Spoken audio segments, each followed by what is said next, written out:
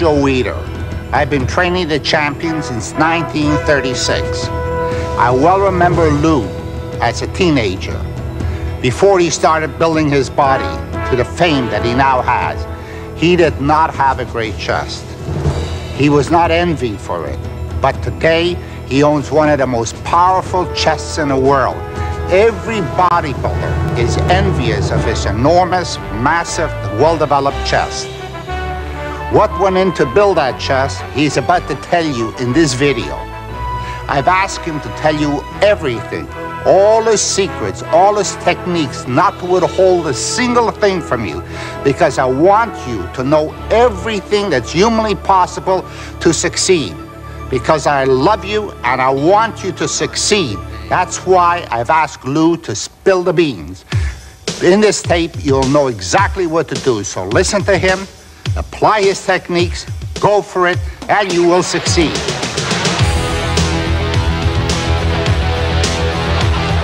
Hi, I'm Bill Dobbins from Muscle and Fitness Magazine. If there's one exercise that brings out the show off in most young bodybuilders, it's the bench press. Many of them seem to take almost as much pride in being able to do a 500 pound press as they do in achieving success in competition. But not Lou Ferrigno. At six foot five and weighing close to 300 pounds, he's certainly capable of lifting impressive poundages. But Lou isn't in the business of impressing people in the gym. He's a bodybuilder. And training with weights for him is simply a means to an end. And that end is developing a complete championship quality physique. Forget about powerlifting. Let the ego out of your gym. Bodybuilders are about strong in general by how much you uh, work out in a session. You don't have to prove yourself by have to bench three or four hundred pounds. You have to feel the movement because if you want the proper chest development, you have to feel the complete range of motion. That's true. You can't stand on stage in a bodybuilding show and suddenly say to the judges, I know my chest doesn't look that good, but I can bench press 500 pounds. They don't care. True. The bodybuilding is not how strong you look, it's how you look. That's why it's called bodybuilding, not power building.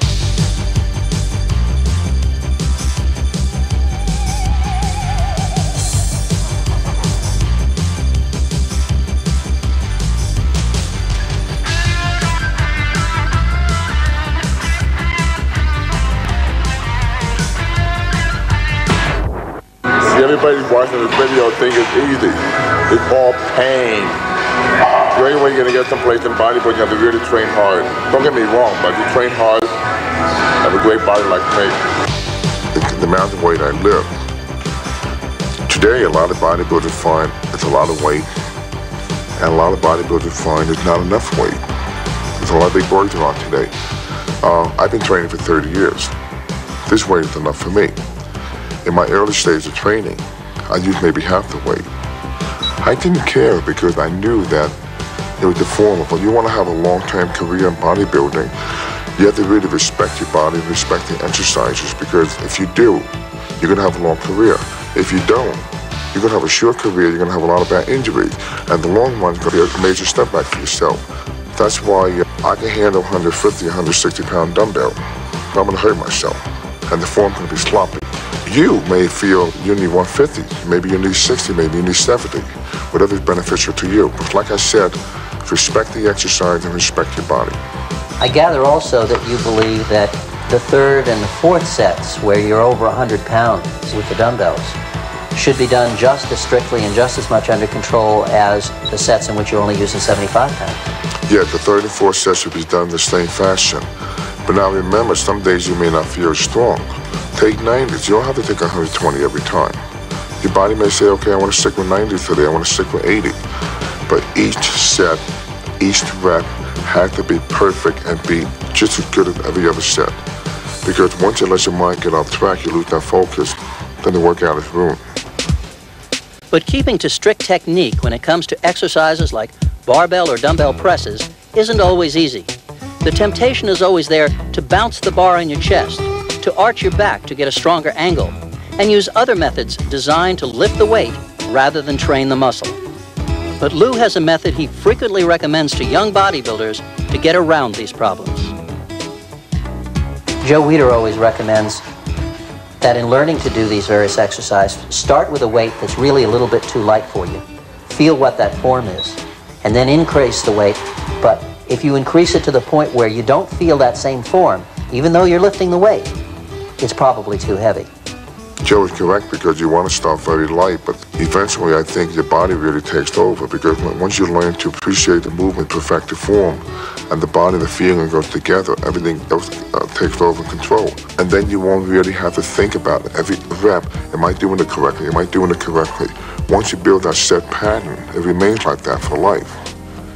That's why it's very hard to change bad habits to good habits. It's so important learn the good habits, and you won't have to worry about changing later on.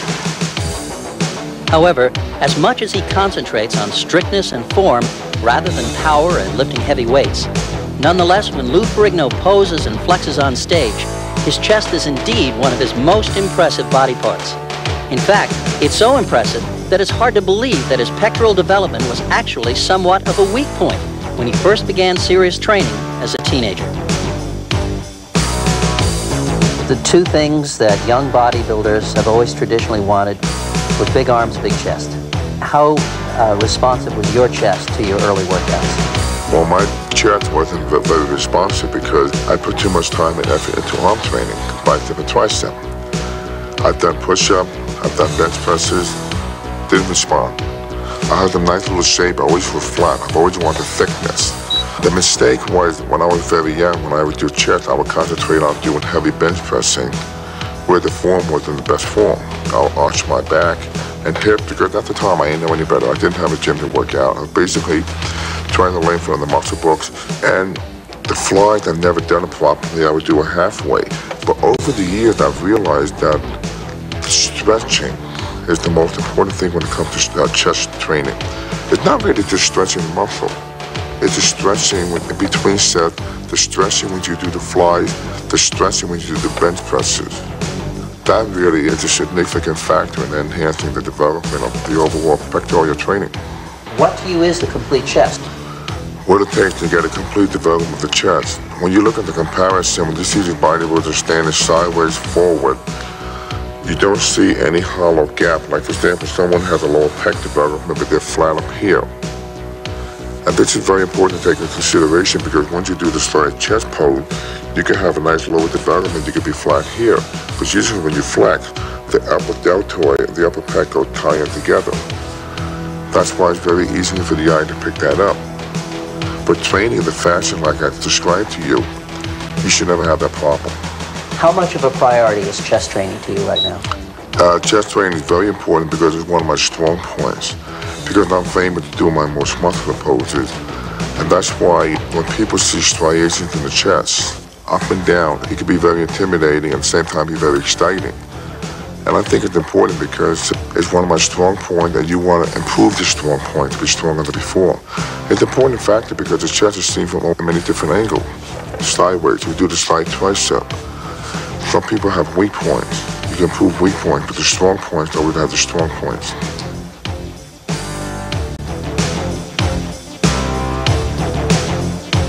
When Lou Ferrigno first began training, most bodybuilders worked out six days a week, sometimes twice a day.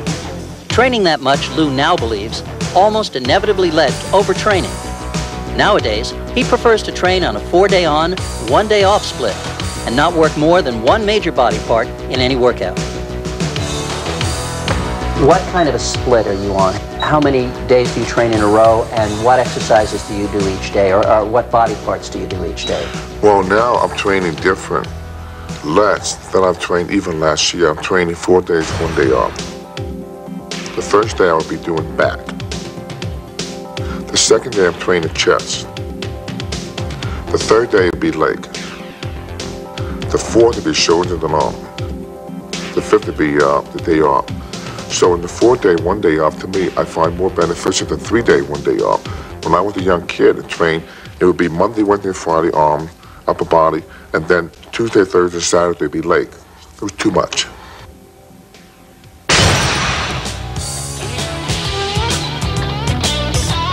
The chest or pectoral muscles arise at multiple points along the sternum and insert into the upper arm underneath the deltoids. The primary action of the pectorals is to pull the arm and shoulder forward and across the body.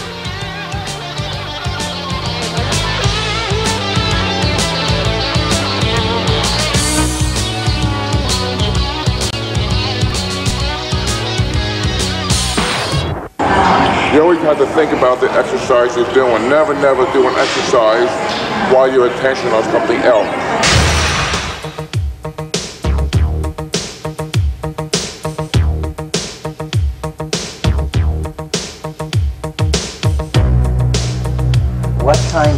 Technique do you recommend doing the dumbbell presses? I believe the bench should be slightly elevated to 20 degrees. You clean the dumbbell, and the number one factor should be that you want to have the lower back be flat. You never want to have your back arch. And when you're holding the dumbbell, have it on a slight angle. The reason why I turn the hand on a slight angle like a 45, I get a complete stretch because if I have my hand straight ahead, it's activating too much of the shoulder. So if you want to be shoulder free of injuries and shoulder cuff injuries, you make sure you have the proper angle. I bring it down like I'm doing flies to get the full stretch as I can, low as possible. Then as I come up, I slowly bring the pecs in together and make the dumbbell almost touch. One continuous motion. Uh, what kind of sets and reps program do you follow with your dumbbell presses? Extending the dumbbell presses, I'll begin with a 50 pound dumbbell. I'll probably knock out maybe 15, 20 repetitions to get the blood then I would take 75, 90, 100, and probably 120 pounds. Four sets, 10 to 12 repetition, pyramid the weight. The reps doesn't change. The reason why it's important because you force yourself to handle more weight and stay with the same repetition. Too many guys handle heavy weight and pyramid down. When you start the pyramid up, that's the best way to build size and thickness. Lou Ferrigno uses dumbbell presses as a basic mass building exercise rather than relying on the more traditional barbell presses. Pressing with a barbell has its uses, he says, but this exercise is not necessarily for everyone. Yeah, because over the years, I stopped doing bench presses because it was giving me too much trouble with the shoulders. Because you see, whenever you grab a bar to do bench presses, the power movement. I switch to dumbbell because I have a greater range of motion and I could feel it more. I was able to stretch more. And when I would come in with the dumbbell, I was able to come in close to work the inner pec. The problem with bench presses, is they go in one direction. You're getting really getting maybe 30, 40%. Because you're working too much at the front delt. Would you switch a young bodybuilder to dumbbells as well, or would you let him do barbells for a few years and then switch? Well, right now, being I do personalized training, I've been doing for years. When I have a youngster that comes to me like 14, 15, I'll explain to him he can do bench press, but I'll teach him how to do dumbbell presses. Mainly for the reason is because he'll get a better pectoral development. If the kid wants to have an inflated ego and feel like he wants to bench 400, I said, okay, fine, do bench press with 400 pounds. You're not going to have the chest development. But the whole attitude is you're going to be a bodybuilder. Treat your body like a bodybuilder. Respect bodybuilding. If you want to go powerlifting, go to powerlifting. You can't put the two together. You can put the two together, maybe training for yourself, but two separate, different know, kind of training.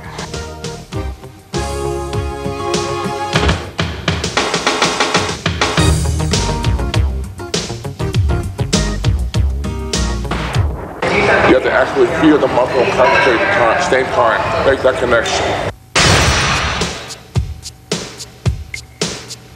All pressing movements involve the front delts and the triceps as well as the pectorals.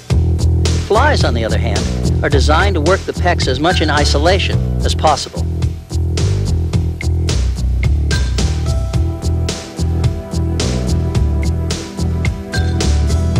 The second exercise you would normally do would be flies on a flat bench. Could you tell me what those do for you?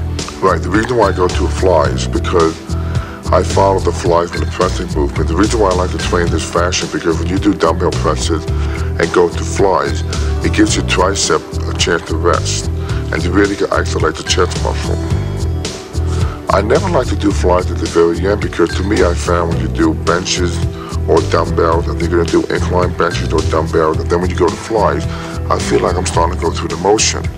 And I used to say to myself, why not maybe go a little bit heavier in the fly to really isolate and feel the muscle? Because once you do another pressing movement afterwards, the chest is fatigued, but your arms are fresh, you're forcing them working harder. Flies to me is important though when you do it. Like I said before, you really concentrate on the stretching. When you come up, don't lock out your arms, keep it slightly bent. Just imagine doing cable crossovers. You always got to keep it tense.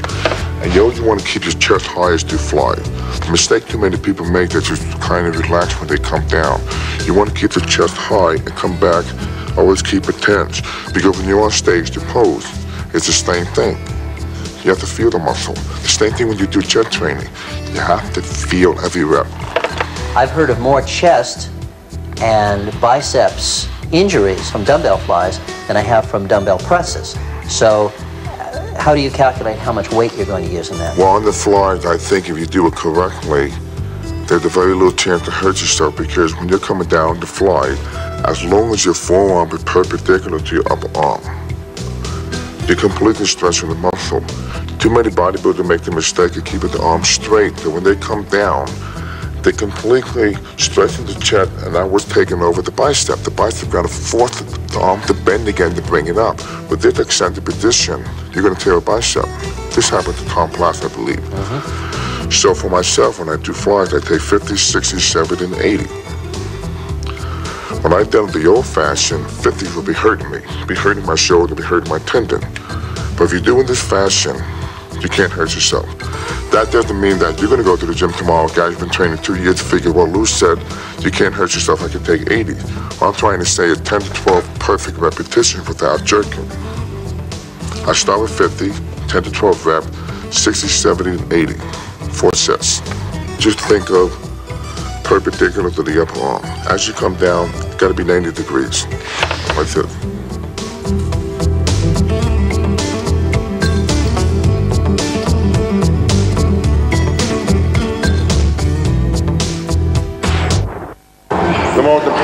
I find as you're watching me when you come here, you have to focus.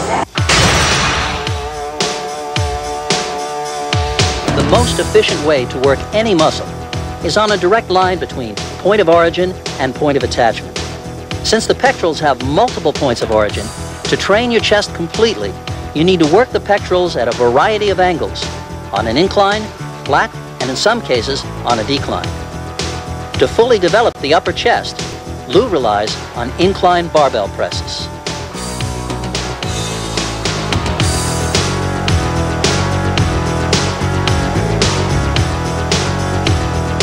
You don't generally do barbell presses, but you do incline barbell presses. Yes, uh, because to me, I find that it's more comfortable and a lot safer. When you're lying flat, you have a dead weight. But when you do incline barbell presses, you can bring the bar to the neck. And if the movement, it's not a power movement like bench press, because usually people when they bench press, they handle maybe 50% more than they handle on the incline. And the incline is very important to get that complete stretch. I find it to be safer for my shoulder to do incline bar presses than incline dumbbell presses. Incline dumbbell presses, I think, put more of a stretch in your shoulders because you're going all the way down with the dumbbell. But when you have the bar, they kind of like you have your back and chest supporting the arm coming up. You go in one straight direction. Because once you put the bench on a 45 degree angle, you're in a dangerous position affecting the front deltoid. But if you really want to feel the upper pec, it's important to have the bar touch the upper clavicle. The incline barbell press is an exercise that does tend to work specifically the upper area of the chest. It does. Not too much of a steep angle. I think the angle should be 30 degrees, no more. Once you go too steep with the angle, then you're taking over the shoulders. How do you do barbell bench presses as a concentration exercise? Well, to me, the rule of thumb is any particular exercise like back training, curl, shoulder presses, and bench presses, always take a grip slightly wider than shoulder. The second thing you have to concentrate on when you begin to do bench presses don't worry about how much weight going to put on the bar. Learn how to have the correct form. Bring the bar down when it comes down to the mid-pec, between the chest. The elbow to the side, not like this, to the side. Because once you bring it in, you're working too much of the tricep. And come up and lock out slowly. If you take too much of a wide grip, you're not really, you're working too much of the tricep, you're not really affecting the chest. If you take it too close to too much tricep, so basically if you have it this wide, slightly wide the shoulder, bring it down, and feel that full range of motion extended, that's the proper way to do bench presses. Let the weight come gradually by itself. Don't force the body to handle more weight. For example, if you're doing bench presses for 150, don't try to do 250 next week. Add 10 pounds at a time. When you feel your body tells you, let's handle more weight. Don't do heavy bench presses by yourself because if you get the bar stuck here, you're gonna be spending more time in the cemetery than you're gonna be in life. But dumbbell to me was safer.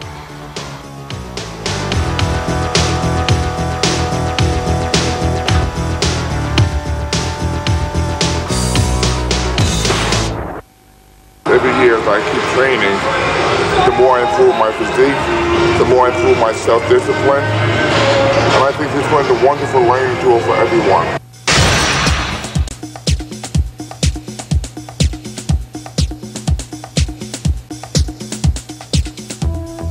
Pullovers actually work the lats as much as they do the chest. However, bodybuilders like Lou Ferrigno frequently include this movement in their chest routines because it tends to stretch and expand the entire rib cage area. What I love about doing pullover is the stretching exercise. It affects the intercostal, also the rib cage, and also works the entire pectoral muscles because when you go over, you're really stretching the upper and the lower chest. It gives you a full pump. It's kind of like a finishing movement, like the icing on the cake. When doing pullovers, you got to be very careful how much weight you lift. I use maybe 75, 80 pound dumbbell. When you come back, the mistake most people make, they bend the arm too much, and you work in the tricep. You got to keep the arm slightly bent, be across the bench, and drop your hip as you go down with the weight. It's not a, a really a mass building exercise, more of a stretching exercise. And also it helps the shape of the chest. Like for example, if you have a complete chest workout, sometimes some areas that you really haven't got a full pump, sometimes you do a pullover. It kind of like, um, it's like a feeling. It gives you a good feeling because I think it's very good for, the body needs that stretching. And also works posture the abs and the intercostals too. Pullovers I like to do three sets of 15 reps. It's very important because when you throw the double arm pose, you can have a complete chest development, but it's important the lower lat how it flares out. And also pullover really affect the frontal deltoid, the upper pec, the tie-in. It can help fill that area too.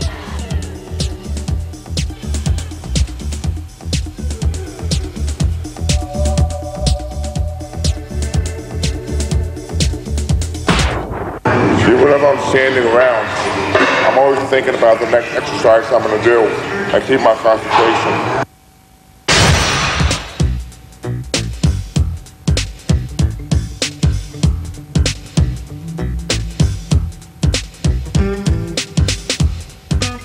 Cable crossovers are actually a kind of flying movement done with cables.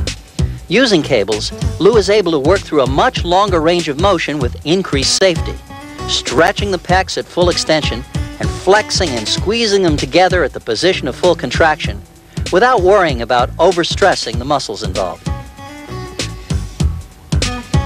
I think one of the worst things to happen to a bodybuilder is the pectoral tear. That'll screw you up on doing shoulder presses. You can't do dips. When you do squatting movement, you need complete surgery. I have a few friends of mine that tore the pec. Why? They want to bench press 550 pounds. One of them never going to compete again. So that's why it's important to really respect your body. And I know it sounds like boring for me to say over and over. Don't handle weights that are ridiculous for yourself, for your own uh, body, but respect the weight and respect your body. There are, of course, a number of other popular chest exercises, and Lou has tried them all during the past 30 years he's been training. The exercises he's recommending in this tape are the ones he's found work best for him, and he recognizes they may not be the best for everybody else. Arnold can't chin properly. It's very hard for my chin. He's got one of the greatest back in bodybuilding. I could do 30 perfect chin. At the time, I never had a back development like him. I had to concentrate on different exercises. That's why when it comes to chest, Franco can have an incredible chest development just from doing bench presses. The reason why I'm talking openly like this is because there's not really one way to train. You have different choices. And other bodybuilders need to train like this. Like for example, my workout never begin all the time with dumbbell presses. Sometimes I start with the incline barbell presses, I go to flies, then I do the flat dumbbell presses. I change all the time. That's how you acquire complete chest development. Some bodybuilders need to do one exercise, they're fine. But all of us don't respond like that. However, although Lou recognizes no two bodybuilders will necessarily respond to the exact same kind of training, He also realizes that there is no essential difference between the kind of workouts that work best for men or for women. This is not only for men, this is for women. The only difference between men and women training, the difference is weight. Women train the same like men. They can do the same exercises and reach the same development. Trained by how the fear, Like, for example, you take a woman who can maybe do flies with 20 pound dumbbell. I made you 70. She'll acquire the same development. You don't have to be a man to train like this. This is good for kids, men, older people. And I think women especially would benefit a lot from this because they should train like this.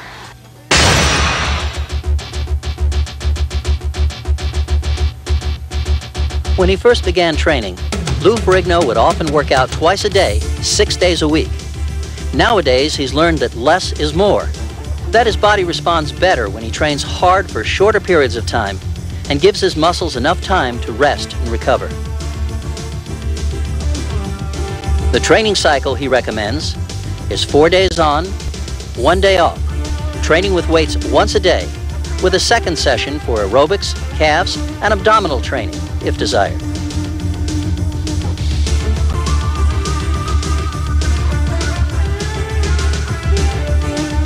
Lou's basic mass building exercise is dumbbell presses, done on a very slight incline. Four sets, 10 to 12 reps, increasing weight each set. Dumbbell flies are an important shaping and isolation chest exercise. Lou does four sets, 10 to 12 reps, increasing weight each set.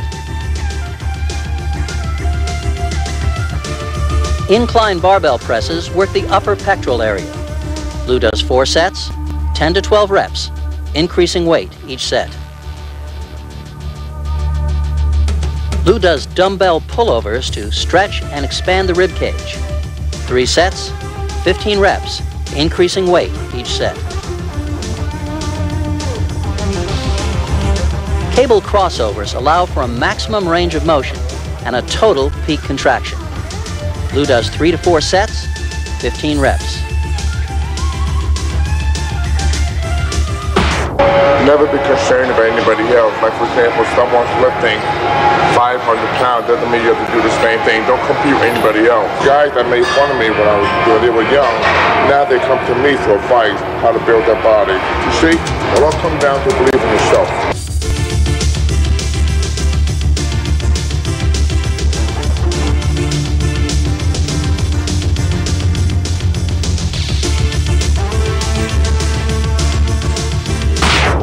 Remember, when the going gets tough, the tough gets going.